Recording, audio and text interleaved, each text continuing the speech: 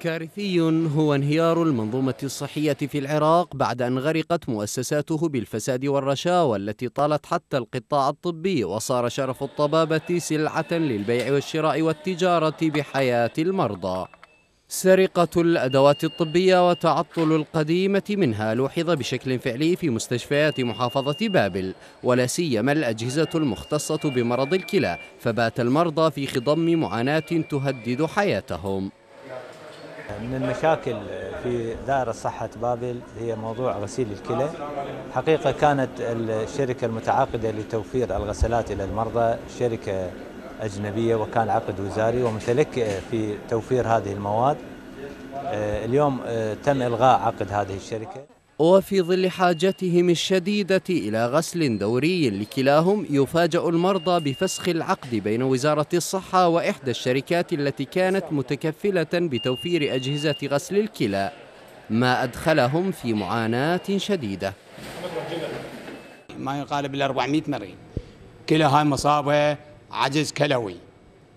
يعني مرض هذا جرثومة. ما ترهم لك المريض إذا ما يغسل ما يرتاح. زين نجي للغسيل. إحنا هسه هاي شفت عينك هاي القاعة كلها كلها لازم سره ثلاث ارسلها بال بقاعة الرجال.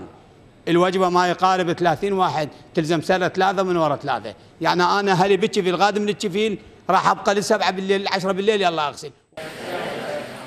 مطالبات من المرضى للحكومة بإيجاد حل سريع وفوري لكن الطامة الكبرى كانت في افتقار وزارة الصحة إلى أجهزة صالحة للعمل.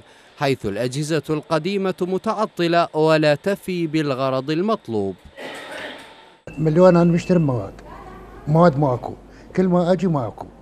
أروح وين؟ من للحلة. أروح أشتري مواد ب 400 و500 و600 مال أربع غسلات خمس غسلات. مواد ماكو. وين نروح إحنا؟ لا عندنا راتب لا عندنا فد شيء وين نروح يعني؟ الأجهزة كلها عطلة. يعني أنا هسه نايم على فراش من الساعة 7 الصبح والساعة ب 12 وأنا بالوجبه الاولى زين وبعد عود يشدوا لي وأغسل للمغرب. هذا الحكي يعني مقبول صايرة تقبلها الدولة. إلمن حاطة وزارة الدولة إلمن حاطة وزارة. ما يؤلم المرضى أكثر من وجع المرض أنهم في دولة تخصص لقطاع الصحة مبالغ هائلة في كل ميزانية جديدة دون أن يجدوا في المستشفيات أدنى ما يلزم المريض ويحافظ على حياته.